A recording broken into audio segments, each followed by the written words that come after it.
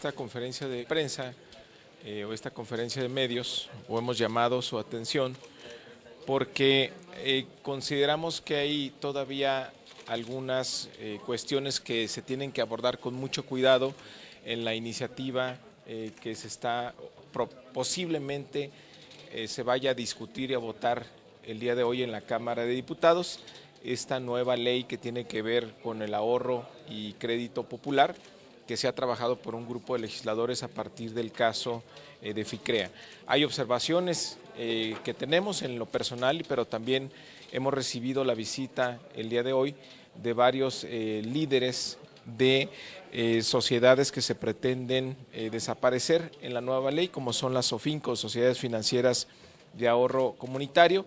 hay más de 25 sociedades que operan en todo el país y que van enfocadas fundamentalmente a sectores muy marginados donde no hay servicios financieros, donde no eh, son ni siquiera eh, atendidas por cajas populares o, otro tipo de sociedades financieras de ahorro popular. Sin embargo, pues esta ley considera la desaparición de los mismos. También tenemos otros comentarios a la ley, por ejemplo, se le dan más facultades a la Comisión Nacional Bancaria y de Valores eh, para que ya eh, ellas, eh, la comisión directamente supervise a las sociedades financieras de ahorro popular cuando ni siquiera pudo supervisar a, FICREA.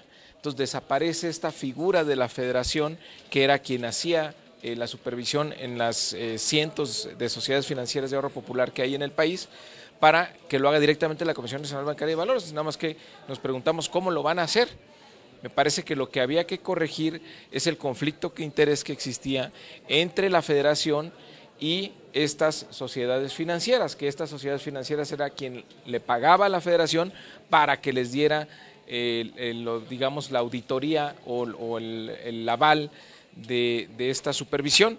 Había que cambiar, había que eliminar ese conflicto de interés, había que corregir los incentivos para garantizar una supervisión y no acotar, por ejemplo, el monto de ahorro que pueden recibir estas eh, sociedades financieras de ahorro, sino más bien corregir los incentivos perversos que actualmente hay en la supervisión.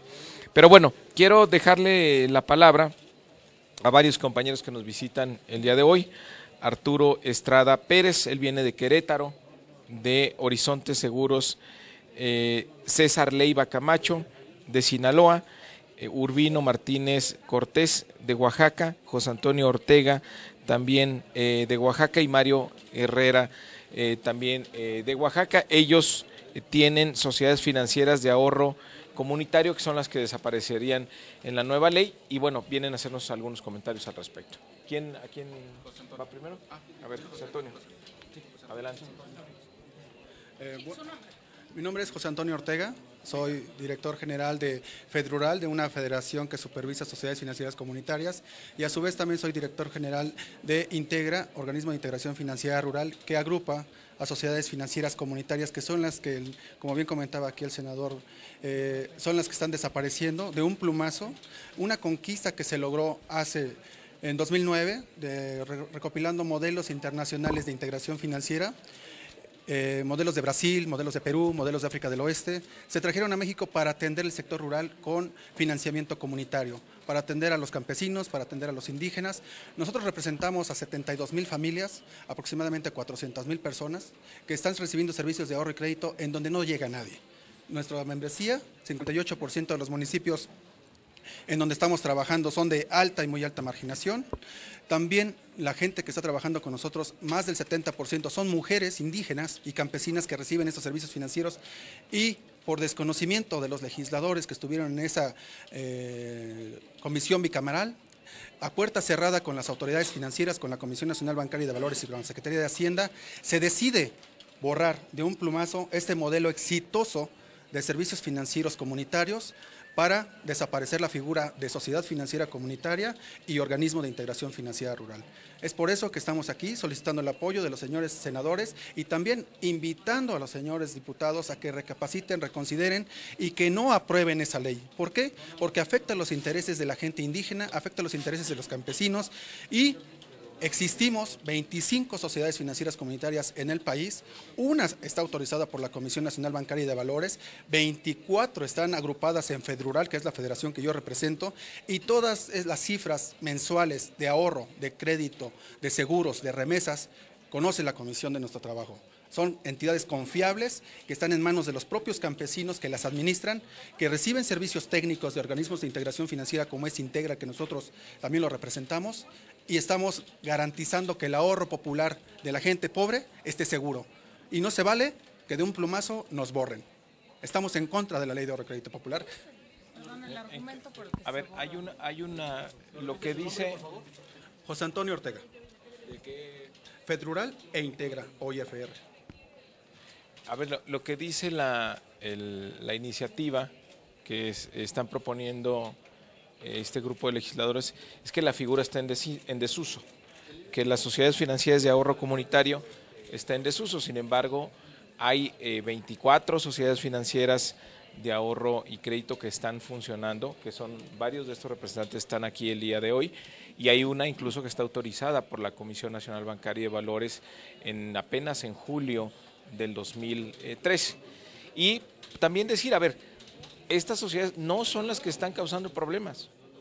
Si ninguna de estas eh, funcionan, eh, todas estas funcionan muy bien, ninguna ha generado algún tipo de problema porque tienen una regulación distinta, tienen incentivos eh, muy diferentes, son, son sociedades financieras donde la comunidad es la dueña de esta sociedad. Entonces no hay abusos por parte, por ejemplo, como en el caso de FICREA, de un accionista mayoritario que hace fraude al resto de los ahorradores. Aquí digamos que hay como una supervisión comunitaria y esto evita, impide que haya abusos por parte de algún particular. Y la gran ventaja es que ofrece servicios financieros pues, en los lugares más difíciles, más pobres de, de nuestro país. Entonces, la verdad es que es incomprensible por qué se decide desaparecer esta figura en la nueva iniciativa y lo que queremos es pues que se deje a este sector, es decir, que no, que no se desaparezca de esta nueva ley de ahorro y crédito popular. Pero a ver, alguien más quería hablar, ¿verdad? Sí, sí, bueno, ellos, eh, la Comisión de Hacienda ha sido muy hermética, eh, nos han dicho que ese, eh, esa iniciativa ya se dictaminó, que va a pasar y que la van a presentar al Pleno el próximo martes para que sea aprobada y que venga aquí a senadores. Entonces, eh, realmente los diputados, eh, que particularmente los de la Comisión Bicameral, no nos han hecho caso y dicen que haciendo, así como quedó la ley, va eh, a mejorar el sector financiero popular, cosa que es mentira. Urbino Martínez Cortés. Urbino Martínez Cortés, yo soy de Oaxaca, de la Sierra Sur. Eh, trabajamos precisamente, soy presidente del Consejo de Administración de SMB Rural, SADCB, una sociedad financiera comunitaria que a menos de dos años, el 3 de julio del 2013, la Comisión Nacional Bancaria y de Valores nos autorice la autorización para estar operando en las comunidades rurales e indígenas de los estados de Puebla, Hidalgo, Chiapas y Oaxaca. Entonces tenemos alrededor de 56 mil socios, ¿sí? Que para esto son 60% mujeres, 80%, de hecho son indígenas, ¿sí? de lenguas ah, maternas, de muchas lenguas, de todas las etnias que tenemos en la República, en los estados, y la verdad a mí me preocupa con esto que me dieron la sorpresa las noticias, que quieren desaparecer las sociedades financieras comunitarias. Quiero aclarar de que en las comunidades donde estamos llevamos ya este, trabajando desde como una estructura social tenemos desde las comunidades de 30 socios formando comités locales para que cuiden la operación de nuestras cajas, de nuestros operadores. A nivel regional tenemos Consejo de Administración, ¿sí? Soy presidente del Consejo de Administración de la Red de Oaxaca, de SMB, y también presidente nacional de, de SMB. Por lo tanto, yo sí quisiera que los diputados y senadores realmente inclinen la vista hacia esta situación porque realmente es, el campo rural donde nosotros estamos trabajando y que de alguna manera hemos depositado nuestra confianza a la gente pobre y la gente pobre hacia nosotros. Nos ha tocado estar comunidades donde han sido defraudados por otras cajas, pero nos ha costado trabajo a que esta gente por una educación financiera hemos recuperado su confianza y está trabajando con nosotros. ¿Cuántas sociedades financieras comunitarias hay en todo el país? ¿En qué estados estarían? Más o menos, ¿cuál es el modelo en el que operan? ¿Cómo prestan el tope? ¿Para qué se usa el dinero? Porque allá pues no llegan este tipo de... Hay, hay 25 eh, sociedades. La Don Urbino es la que está eh, autorizada por la Comisión Nacional Bancaria de Valores, aunque están registradas las otras 24 y están operaciones y son están en operaciones y son auditadas y son supervisadas. Eh, quisiera que nos explicara un poco más los, eh, Arturo le pediría que nos explique los servicios financieros que otorgan a, la- a las comunidades.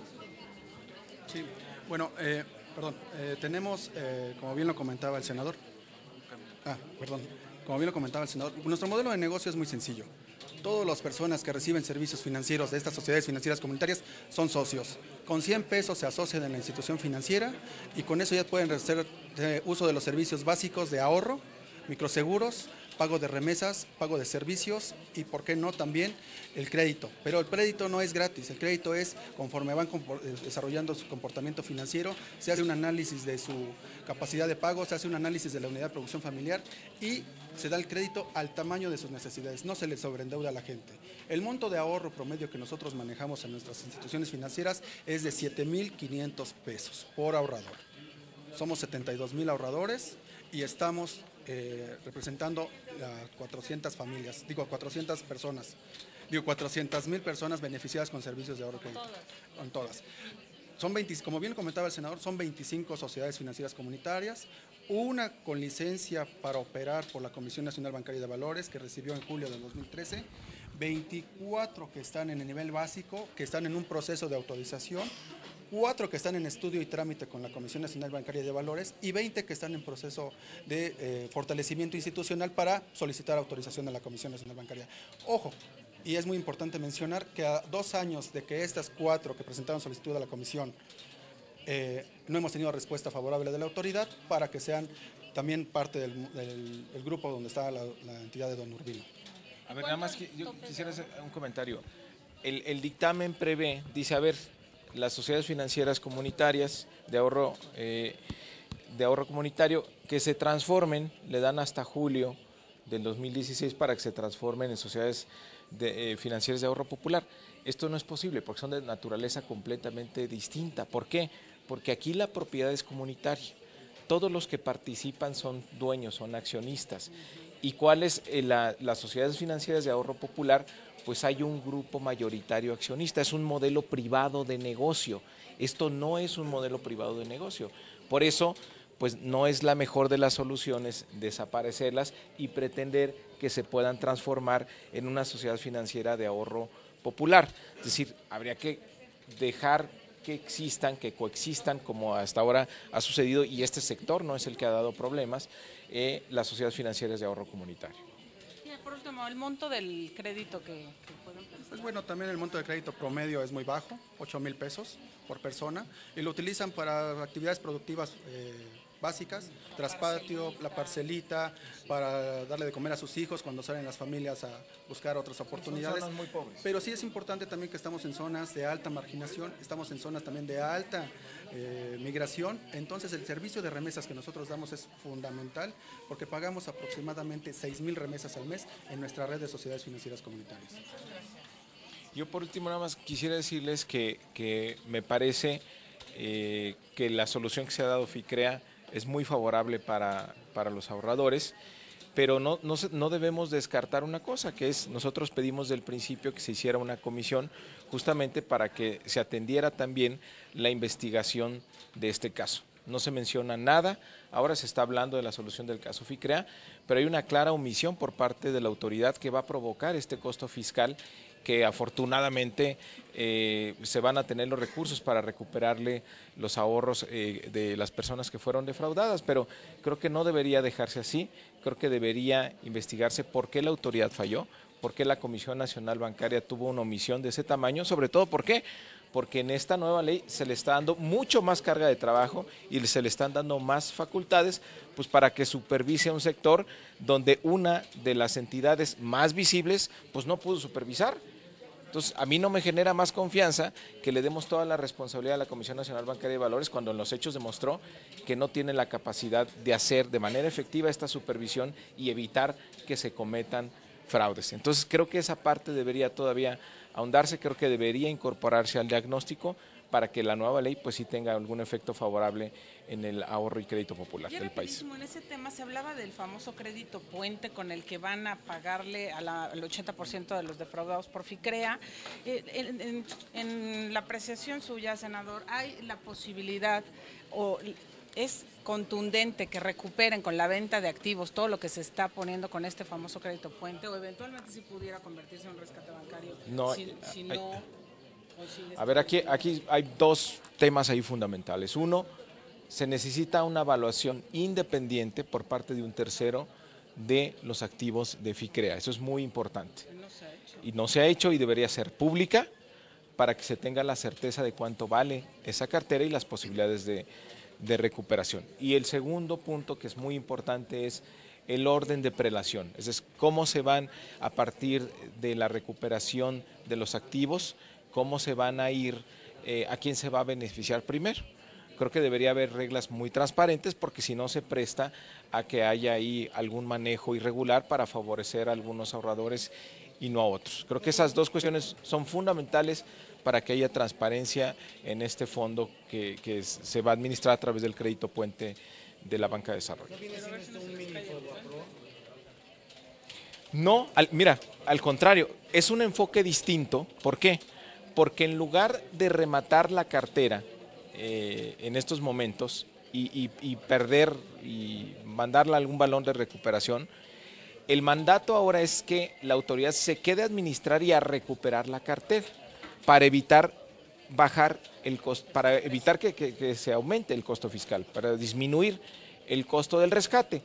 Sin embargo, se tiene que ser muy transparente en esto. Por eso digo, necesitamos que se ofrezca una evaluación de un tercero independiente y que sea transparente del valor de estos activos y también el orden de prelación de cómo se va a ir pagando, a quiénes se va a beneficiar primero a partir de la recuperación de estos activos. Esas dos reglas son muy importantes para que haya transparencia y no vayamos a caer en un nuevo FOAPROA. Sí, porque si no, y resulta que de la venta de activos no sacan el dinero que supuestamente iban a sacar, que hay quien habla de 5 mil millones de pesos, hay quienes manejan cifras diferentes, hay quien dicen que 2 mil, quién sabe dónde están. Por eso se necesita una evaluación independiente de un tercero que sea confiable para saber cuál es el valor potencial de la cartera que va a recibir la banca de desarrollo para administrar, para ver a lo, a lo largo de estos tres años cuál es la recuperación que tiene, porque al momento de que se interviene FICREA, pues el valor de los activos más o menos era 5 mil millones de pesos.